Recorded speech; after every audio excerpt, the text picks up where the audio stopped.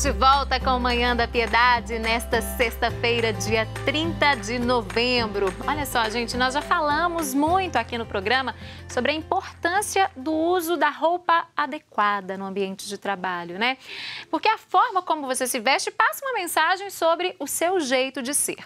E hoje nós vamos falar deste desafio, mas para os jovens, né, que têm um estilo próprio de se vestir no dia a dia.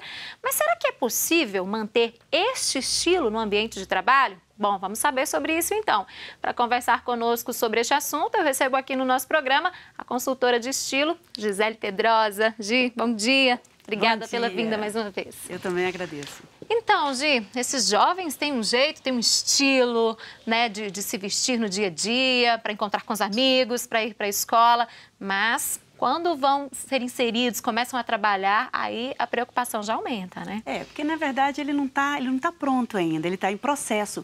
E é muito legal estar em processo, mas a gente tem que entender que aquela, aquelas frases que eu gosto sempre, né? eu posso tudo, mas nem tudo me convém. Você está em processo, está descobrindo, mas no mercado de trabalho, se você já está inserido, tem que ter os códigos daquele ambiente que você tem que obedecer, queira ou não. Uhum. Agora vamos começar então sobre o que não usar, o que não fica legal no ambiente de trabalho ou não passa uma mensagem positiva, né, sobre aquela pessoa. Vamos começar com os meninos, que a gente sempre é, fala das é, meninas é, aqui, verdade, né, na é. maior parte das vezes. Os meninos, uso do boné.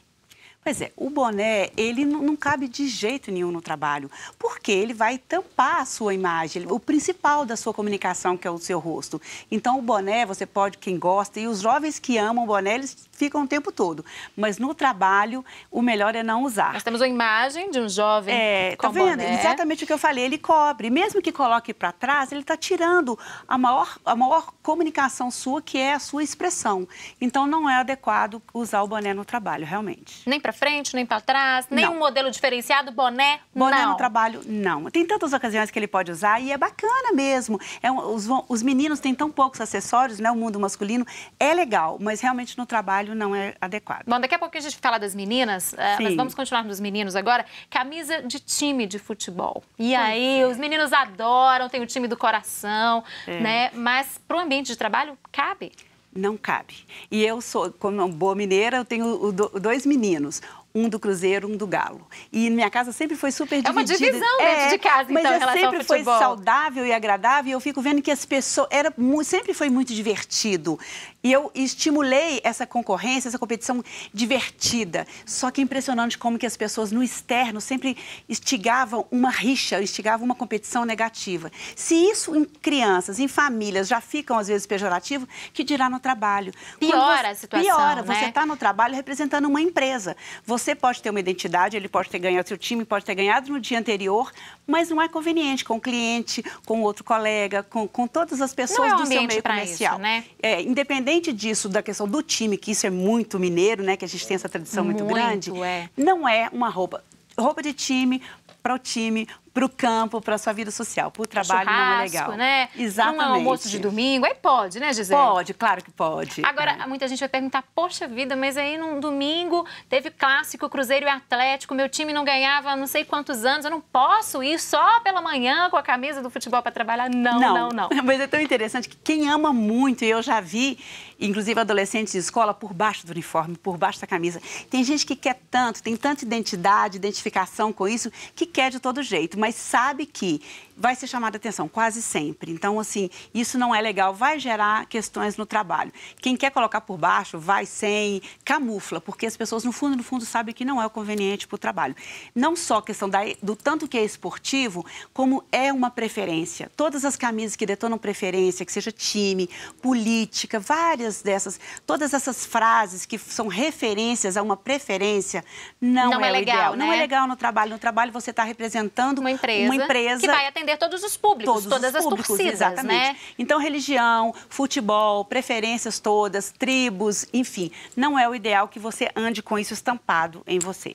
Agora, outro item que os meninos gostam bastante é o chinelo, chinelo Pois de é, dedo, né? chinelo. Porque é confortável, principalmente nos dias aí de muito calor.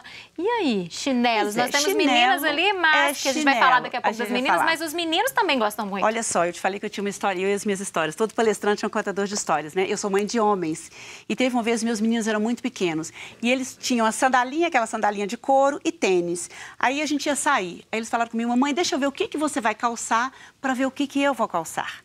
Falei, como assim? Se você for colocar aqueles pauzinhos, o que, que eram os pauzinhos? que era os O salto, o salto fino. Se você for colocar os pauzinhos, eu vou de tênis. Se você for sem os pauzinhos, eu vou com a sandália. Ah, então o tênis acompanhava o salto. Exatamente, foi a percepção dele. Eu achei muito interessante isso.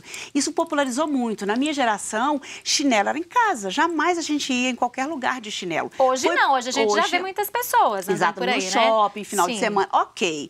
Assim, não sou, não sou rígida, mas no trabalho é nunca. Isso vale as rasteirinhas para as meninas e os chinelos havaianos.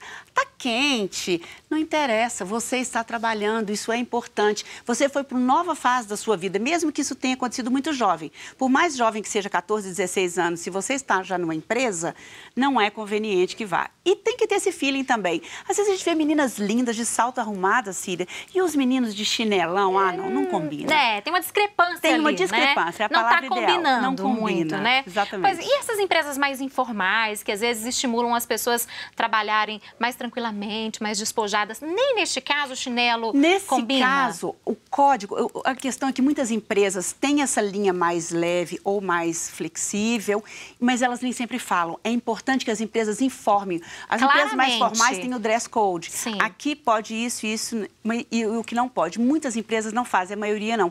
E os jovens pecam, às vezes, porque realmente não tem essa informação na família, não tem essa referência e a empresa não informa. Então, em empresa, moçada, não é. Pede fora. Chinelo, não. Pede fora não se coloca no trabalho. Pode ser meninas, rasteirinhas, sandálias, com o pé bem à mostra, não é legal. Não, então chinelo, Chinelo, não.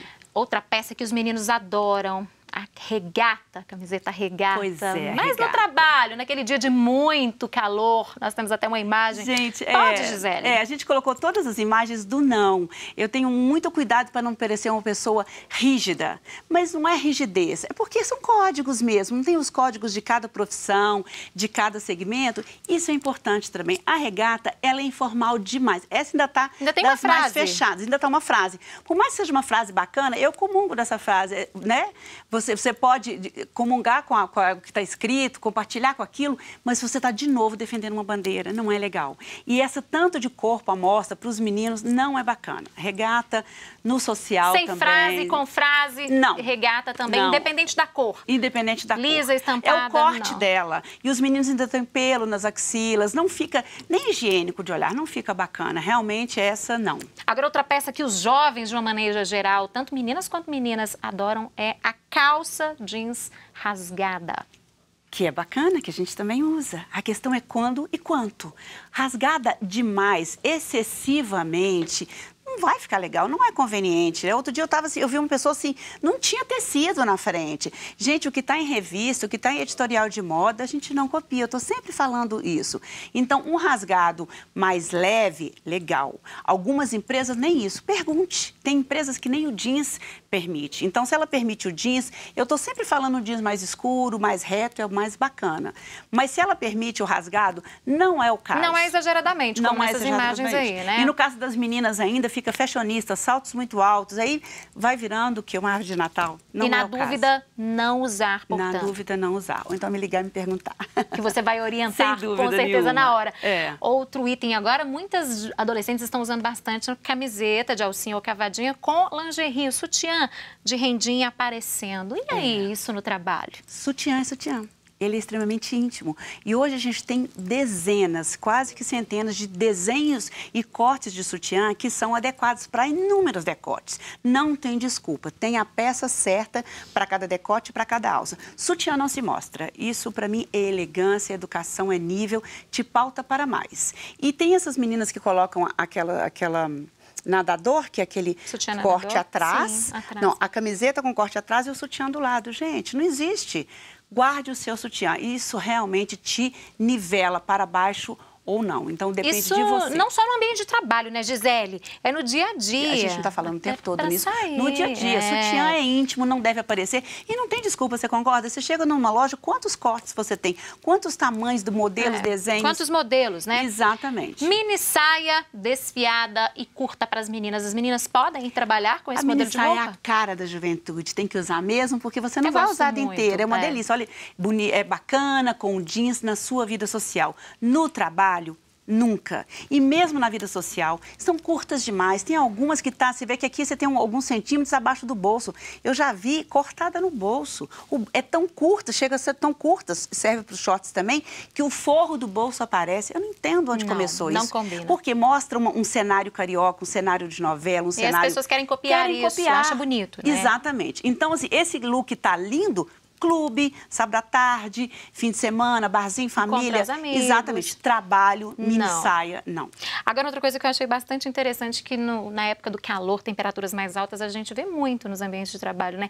Piranha no cabelo. O cabelo tá solto, começou a transpirar aquele calor. Exatamente. A pessoa Olha coloca uma piranha para prender o cabelo. Gente, isso Por é do quê, cabeleireiro. Gisele? Não pode, não Isso é combina. muito feio. Isso é do cabeleireiro. Você chega no cabeleireiro, tem milhares. Isso é para separar o cabelo. Isso é do salão, Isso né, é do gente? salão, exatamente. Você tem empreendedores, né? Eu sempre estou falando do preto, limpo, sem muita coisa. Como a gente está falando hoje de adolescentes, é claro que tem umas coisinhas bem legais, mas mais discreta. Não precisa ser uma coisa gigantesca. Olha o tamanho dessa piranha. E outra coisa, a gente já colocou a piranha. Tem caneta, tem mil coisas que eu vou Caneta, as colocar. pessoas colocam muito, é, Caneta você vê demais. Às vezes você está numa repartição, num banco, em alguma coisa, uma pessoa te atendendo com uma caneta no cabelo, às vezes tira, usa, vai, prende. Ou você prende o cabelo, você solta o cabelo. Se prende, prende adequadamente, com uma coisa bem clean, bem legal. Bem discreta, né? Discreta, é o ideal. Essa realmente é de cabeleireiro, fazer químicas e afins. Não é para usar no dia a dia, Não, muito não. menos no trabalho. É, essa ainda está discreta, embora seja tão grande, tem tantos Tem tamanhos umas coloridas. aí. É, tem umas que as Exatamente. pessoas, quando saem no sol, ela muda de cor ainda. Incrível, Não. incrível, né? Eu não sei aonde começou essa história. Aham. Pois é, e você de casa, está gostando das dicas? Neste bloco ela falou de tudo que não devemos usar, né? Principalmente você jovem, no ambiente de trabalho, né?